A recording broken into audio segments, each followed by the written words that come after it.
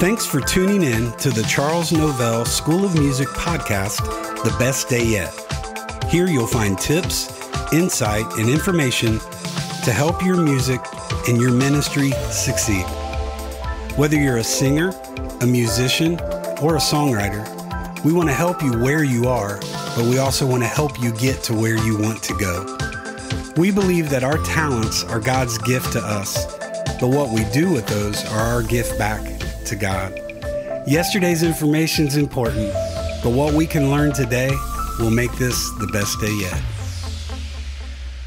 Hey there, Rob Novell here with the CNS podcast, The Best Day Yet. Hope all is well and that you are getting everything ready for Christmas this weekend. Hard to believe, but we are there. So, Merry Christmas to you from the CNS family. We are excited about this season. We know the real reason for the season. We're excited to celebrate the birth of our Savior this weekend. Hey, today's episode, I'm excited about this. This comes from, I believe we've done one of these already. We had a CNS staff retreat. I got my staff together in Gatlinburg in May of 2021. We were able just to, to spend some time visiting, hanging out, just socializing, being a family. But we also did some recording. We intently scheduled some teaching time that we wanted to get together while we were together as a staff. So, this is going to be another panel discussion today from our staff. This is uh, Jon Groves.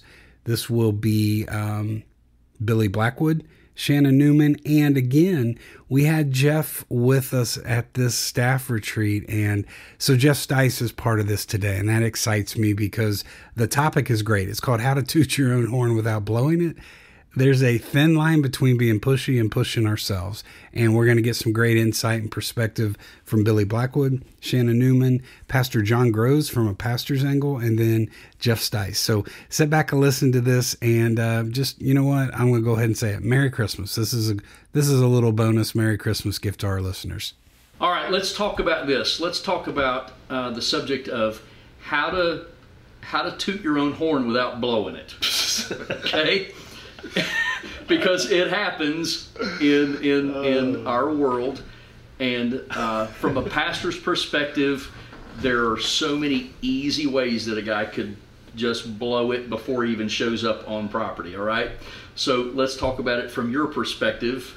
Um, talk to me. Go ahead, Jeff. Oh my word. Um, you know, the first thing I try to do is when I get to um, a, place that is uh, scheduled me to, to come and share, the first thing I do is I thank the pastor or the promoter for having me right out of the chute. Because um, I really am grateful for that. And I think it's important that they know. Um, and people aren't, people are smart, you know they can tell if you mean it mm-hmm. or not. Uh, so I think you need to uh, examine your your um, motives for wanting to do what you do first and foremost, and then when you do show up, I, I think it's it warrants uh, a thank you. You know, uh, when you go in, um, just try to be as nice as you can. Um, that right right away will will set the uh, relationship with you and the promoter or the pastor mm-hmm. right out of the chute. If he sees that you're wanting to do what he wants, it's character. Exactly, exactly. Um, plus, you, you, to me, a, an audience in a church a lot of times will take on the personality of their pastor. Mm-hmm. Mm-hmm. And if I can get to know the pastor, and if he likes to have fun, cut up, and if he's a a guy, you know, that uh, I feel comfortable talking to, that helps me in front of my, my audience. Mm-hmm. Um, as far as when I get on a platform, I, am in a, a, season in my life where my whole approach um, is is trying to uh, have a conversation with God when I sit down and play through my music, and I hope that that is something that I communicate with with an audience um, because there is such a fine line. And I'll tell you who told me this your brother, hmm. Jimmy, when I first started playing for the Blackwood Brothers. Uh, Jimmy said there is a fine line between confident and cocky. And it's a line that uh, a lot of people cross. And my hope in this season that I'm in, I, I, you know, you can't look in the past. I've probably crossed it a lot in the past, but my hope is that people want to see a little bit of um, humbleness, yet confidence. You know, uh, because when you're on a platform, you're trying to sell yourself. I mean, I'm, I'm trying to be a vessel for the honor and glory of God, but people have to believe what I'm saying to them. And uh, so, in essence, I am trying to sell what I'm doing. Um, when it comes time for the offering, I don't do that. I just, I feel better about turning it over to the pastor. Uh, if it's a promoter, most of the time I'm there on a, a previous agreement, you know, so it never comes up. The record plug, or CD plug as we call it now, uh, product pitch now, I think's what they call it. Um, I'm dating myself. Record. For those of you who don't know what a record is, it's this big round black thing with a hole in the middle of it. It's a big CD. Yeah, it's a big CD. uh, oh my goodness, I have always taken the uh, the approach of selling the song more than how good I might have done it on the recording. Uh, you can name songs that everybody's familiar with on your project. Uh, highlight the good ones. And, and when I say good ones, I'm certainly not belittling the other songs, but the standards. You know, if I've got Amazing Grace on a CD, I'm going to say Amazing Grace. Mm-hmm. That song, those songs, the melodies, they sell themselves, and they're tried and true. And, and people will come to the table and ask for a song, you know, a specific song. So I have spent the entire hour, hour and a half selling myself. There's no need for me to do it again by holding up a CD. Boy, you should hear the way I play that song, you know. Um, so I think the content of your CD can can be a, huge deal when you are trying to let people know what you have available at your table. Um, shake every hand. You know, if you don't buy anything, come by and shake my hand because thank you for letting me be here. Um, that's just the whole thing. Uh, what Jimmy said to me about it's a fine line between uh, confident and cocky. Man, has that stuck with me through the years? Um, it really has. The, so there are times, and I know that all of you guys have dealt with this, not just in your own ministries, but in those that you've also helped, those that have come through the groups and, and those that we've met at conferences, things. There's there comes a time when you're in a venue where people don't know you. You know, how many of you heard me before? You know, how many of you heard such such group before and all this? And there's always going to be somebody that's I, I'm new. I don't, or I just got saved, or I don't know. I don't go to church, or whatever that that is. And so, because they don't know you, then how do you approach saying this is who I am without saying this is who I am? You know what I'm saying? Mm-hmm. How do you promote? How do you say toot toot without going the wrong way? How do you promote that? Um, I'm in a I'm in a different situation than a, than a lot of artists are. Uh, by the nature uh, of the, the fact that the Blackwood Brothers have been around for going on 90 years. There's a there's a history with that, and there's a familiarity with that. That And a standard. And a standard. Yeah. I mean, And you know, so ninety percent of our clientele uh, are older, and Jimmy used to, my brother again, to quote my brother, used to say, you know, if you go to a secular concert and hear the Temptations, you don't want to hear them do a bunch of songs they never sang. You want to hear them do the Temptations hits. And and he would was making the the analogy to when people come to a Blackwood Brothers concert, they want to hear Blackwood Brothers songs. I mean, we have a we have a a repertoire that is familiar, and people expect a certain style from the Blackwood Brothers. I, as I've been leading it the last seven or eight years, I've tried to um, fine tune that and more narrowly focus that. Um, and I hope I'm addressing your, your question because some, for some people this may be a little not no not applicable, but it just is where I am. Um, we about seven or eight years ago really put all of our eggs in a basket of doing a CD that had some of the greatest new songs um, I've heard in years. It was a flop. People just were not interested in hearing the Blackwood Brothers do new songs, no matter how great they were. I mean, we did radio promo, we did everything. It was just, bleh, you know. So then came time to record again. I felt like the Lord gave me an idea, and I, I said, um, uh, the idea was do a, a CD of all standards, these classic songs, and do them with just a piano.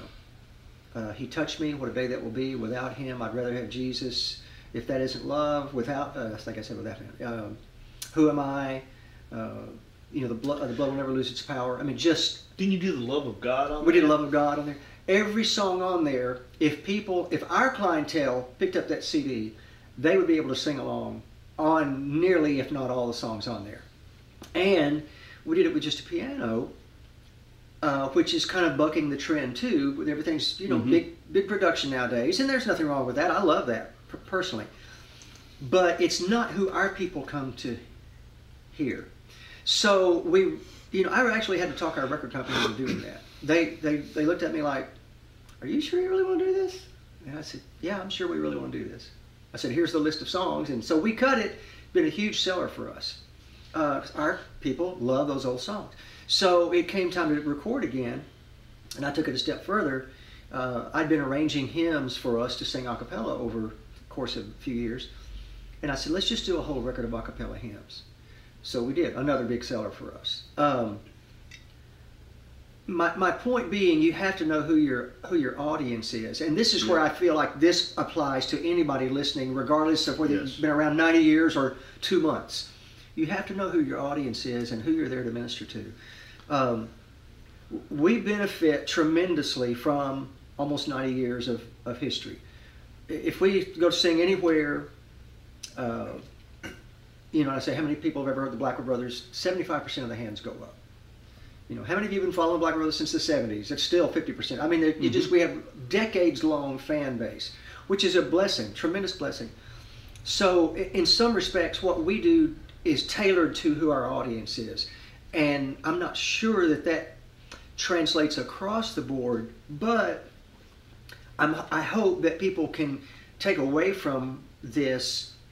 The point is, know what your audience is there to hear.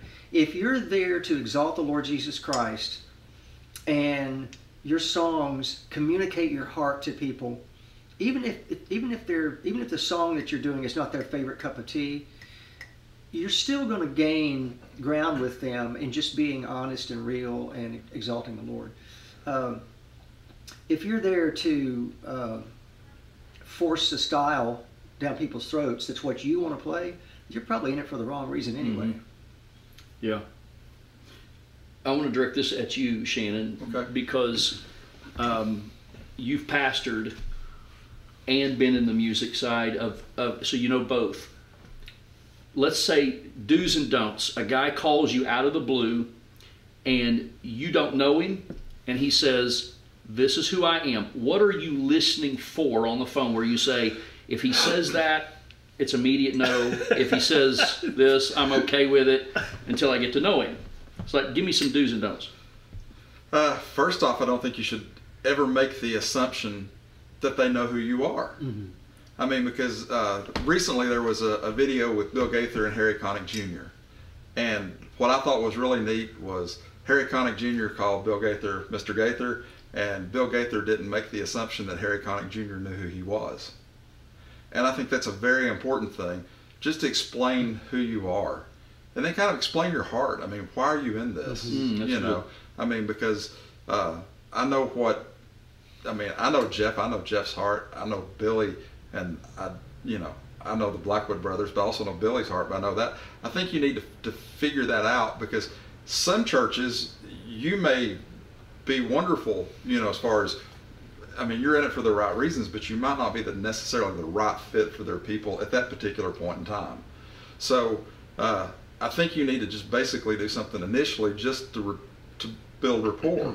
And I just always think it's good to, you know, if you're new, just ask questions. Just you know, I mean, because a lot of you know a lot of the students that this is tailored to, you know, you know, say pastor, you know, say I'm starting out. This is what I feel. You know, you know, first off, ask is you know, is this a good time to call? You know, I mean, those kinds of things, Yeah. and ask them questions about what would you do. You know, then then say, you know, you know, well, allow me to send you one of my CDs or you know, nowadays it's so important to have a social media presence, particularly YouTube, things like that. Get some things and, and put them up so you can send links or whatever, you know, and then follow up. I mean, that's just basic cold calling from business. But the difference with what we do is you really have to know someone's heart, um, you know, and be humble because this is an opportunity not only from God, but it's an opportunity to go into someone's church. And, you know, I try to avoid. I don't think you should go in and tell a pastor that you want to lead their people into the presence of God or, or anything like that because that's that pastor's job. I mean, know your place. And, uh, but to me, on an initial call, I think that's just more of what you should do. Okay. Now, going back to something that, that Billy said, my mother was always great with this because, you know, when, when I started out singing and I was in high school and stuff like this, you know, I was wanting to find that, you know, whoever sang it, I was wanting to, you know, soundtracks were really just kind of starting to come out as far as the cassettes and stuff. But she would always say, you, you'd go and sing some hymn and she'd say, people like what they know. Yeah. And, you know, and like looking into Lawrence Welk, he would never do a song that was uh, less than 10 years old. That was just his standard.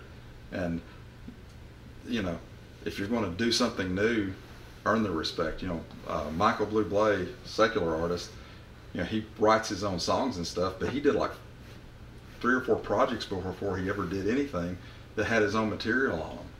You have to earn people's, you know, respect and earn that to introduce something new. So that's another thing I guess I would point out is don't go in there with you know you could be the best songwriter in the world, but if they don't know them, it's really hard to get get it set up. You said you you brought this word up several times, and that was ask. And from a pastor's perspective, uh, which I know you've been there too, um, a big thing for me is don't make demands to me. Right. I don't know you. And even if I did know you, if we don't have that kind of relationship, don't assume, like you said before. So let me give you a, a bad example, okay? The phone rings, I answer it at the church, and it's a, a young singer. And on the other end of the phone, I hear this voice, and he says to me, um, Hey, this is who I am. Um, yes, I, you know this these other people that I'm aware, you know, I'm friends with and all this. And I said, yeah, oh yeah, okay, so I'm, I'm getting the association now, which I, I like that. Um, I know some people don't like the name dropping, but I like to know, oh, you're familiar with somebody else that I'm that I might know. And um, the longer the conversation went, it turned into, this is when I'm coming, and this is when, and you, and, and he's, and this is what he told me. He said, this is what I do, so I'll do this part in this in the Sunday school hour, and I'll do this part in the worship hour, and then and I and I, and I immediately I'm like, whoa, whoa, whoa. Number one, I'm the pastor here. I don't know you, so number one, I'm not going to just let anybody into my my pulpit mm-hmm. that I don't know. I mean, I don't know something about you, and so I explained to him that's not that date's not going to work. We planned for another date. And once again, it wasn't in his schedule, but he wanted to make a demand that I I should respect the fact that he was going to bless me with his presence. and I just didn't feel the spirit move in that manner. so I I pretty much told him no, you know, and and, and a few other thoughts that I had in my head at that time. But um, I, I, look at it this way: if it's a ministry then treat it as though it belongs to God. Mm-hmm. And Jesus was a gentleman. He didn't force himself on mm-hmm. people. He offered. Mm-hmm. And uh, and so if you if you believe in your ministry and you believe that God's working in ministry, you can offer that. But give them the opportunity, number one, to get to know something about you, like you said, you know, and then and then if they receive then say, well, what would fit best for you? What would you like? I'm able to do all of this, but I'll do whatever you ask of me. When, when, when we were traveling, there were times that pastors would say, um, I don't want your sound system set up there, I want it over here. And we, our, we, had, we gave them two words yes, sir. It's not my church, it was, we, so, we, so we did all of that. Another thing, let me, if you, Yeah, I'm please. sorry to interject like that, but I had a situation where some, I had a deacon that basically came into a meeting one day. Oh, I ran into such and such, and have you heard them? And I'm like, yeah, yeah, I'm familiar with them. You need to have them. And number one, what the person that tried to pull that stuff didn't realize that particular deacon really was a pain in the butt to a lot of us. that was not the person to ask. And I've had people when I was serving as minister of music that would come, and, and that was fine, and I could take it to the pastor. I wasn't in the position to make that assumption, but at the same time, the pastor would never have talked to anybody directly. You kind of need to know the church, you know, and if you don't, get online and find that out. Find out who leads their music, and if you know Oh, somebody in there, Right. who should I talk to 1st Mhm. You know, because you just don't want to short circuit and leave a bad taste in someone's mouth or try to, you know. Can I speak to influence that it real like quick? Yeah. I have known uh, quote unquote booking agents who get really upset when the pastor won't return their call. And like like you, like both of you, I have been a, I've been a pastor, uh, and I know that I could have 30 people every week in my church doing something special. The phone rings off the hook. Hey, we're coming through. Can we sing at your Right. church? We don't have time to schedule everybody that, that's coming through town, everybody that wants a place to sing Or the finances. or the finances. We just don't. It's not. It's not realistic. It's not possible. And so my caution to people would be, just because you have an opening doesn't mean they have an opening, and you need need to be respectful of their calendar. And if they if they can't have you right now, thank you, Pastor. Uh, tell you what, and and maybe maybe it's just the music minister, and I don't mean just, but a lot of senior pastors will deflect all those calls to a music minister because that's under his, you know, under his jurisdiction or her jurisdiction. Um, because a senior pastor is not there to answer the phone unless it's an emergency.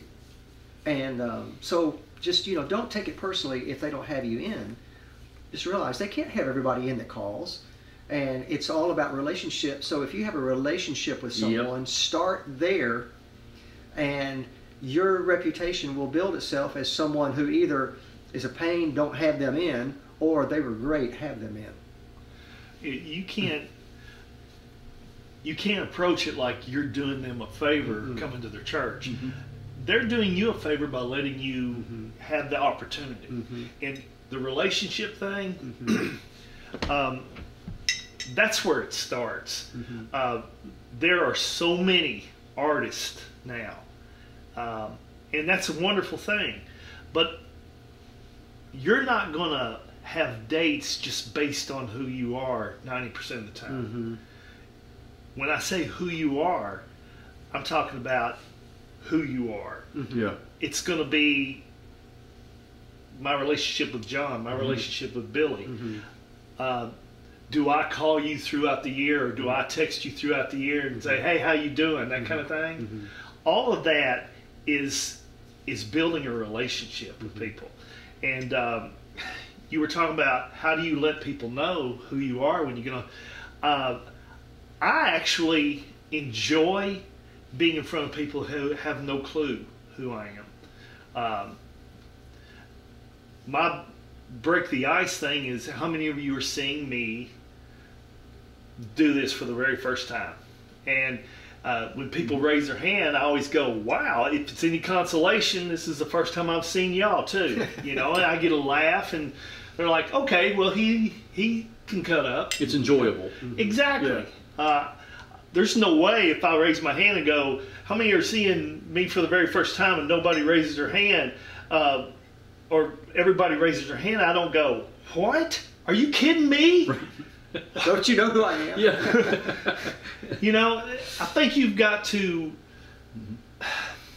You can sell yourself by being humble, and and that automatically will elevate you if you people know, the, like you. the Bible says to let the Lord be the one to promote you. promote you. Right?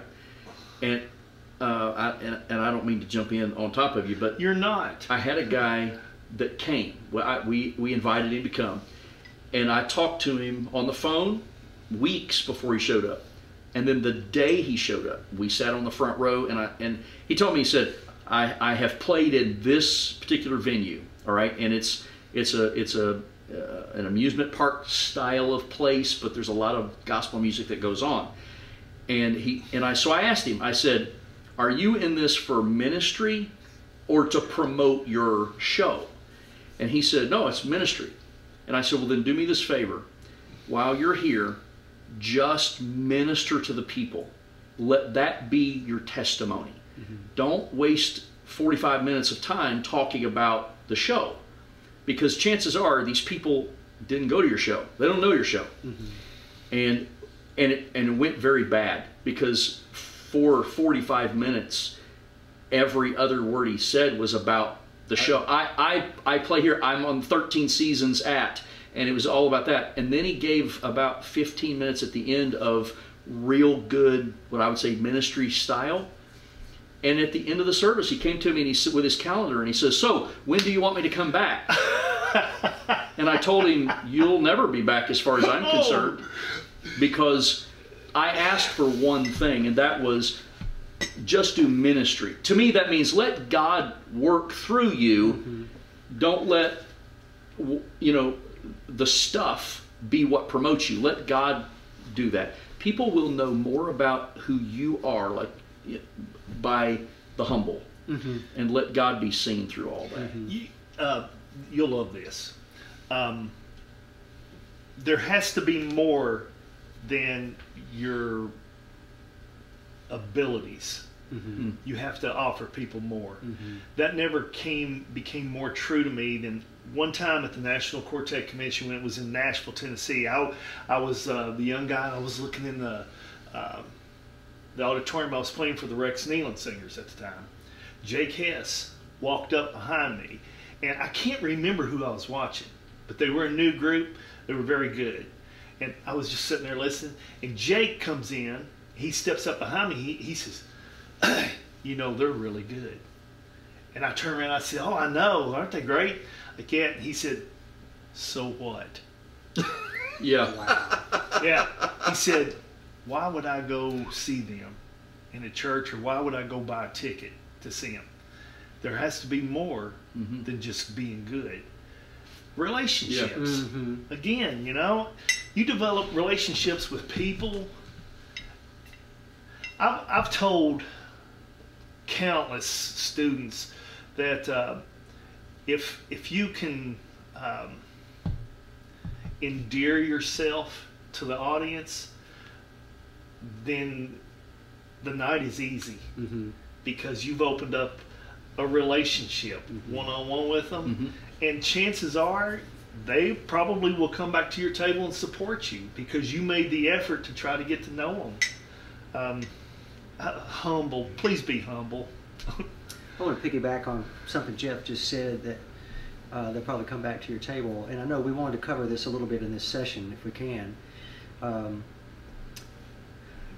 I have a tack that I use on on product, and it is um, this is what we have available. Our latest is acapella hymns. One before that's classic. I list some of the titles and and um, and I say obviously we make some profit on the products, the CDs and stuff that we sell. But more importantly, these are anointed songs that will minister to you long after we're gone. yeah. And how many of you have family members who don't know Christ? Hands go up. How many of you have friends, coworkers who don't know Christ? Hands go up. Um, neighbors who don't know Christ.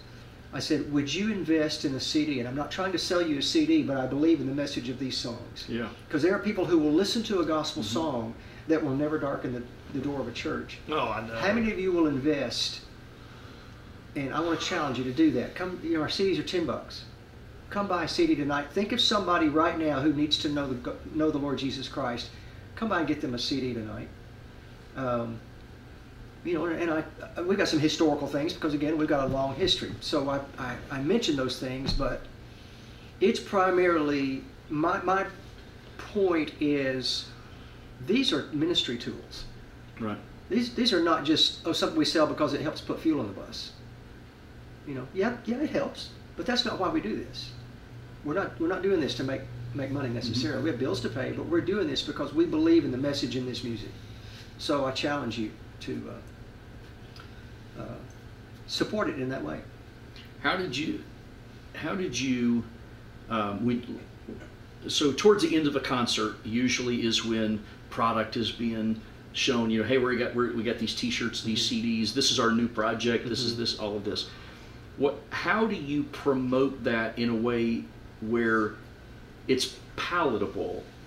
It doesn't leave a bitter taste like, oh man, just another CD. Mm-hmm. But but you because here's what I would do, I'm, and, and I'm jumping way ahead here. Okay. Uh, what I would do is I would say this to people. I would say, how many of you like this music? And and usually I already know the answer to that because they've clapped or they've smiled or they've amened or something like that. How many of you like that this music? And and hands will go up or they'll clap and all that. I'll say, here's what I want you to do. I want you to go back to the product table and I want you to buy three or four of these CDs. How many of you don't like this music? And I don't let them raise their hand, but I say, if you don't, I want you to go buy four or five of them, give them to people you don't like. yeah. I mean, but one way or another, but you've made them laugh and all that, but it leaves it palatable to them so that when they do approach, the concert's over. Mm-hmm. But when they do come to the table, you're still real. Mm-hmm. You're touchable. Thanks for listening to the Charles Novell School of Music podcast, The Best Day Yet. You can follow us on Facebook, Instagram, and Twitter under the name the Charles Novell School of Music. And for more information on CNS and our upcoming events, like our online school, our weekend regional sessions, our creative coaching, and our pastor's retreat, you can visit us at our website at www.cnsmusic.com. As you've listened to this episode, we hope that you've gained some information that you can apply to your music and to your ministry to make today the best day yet.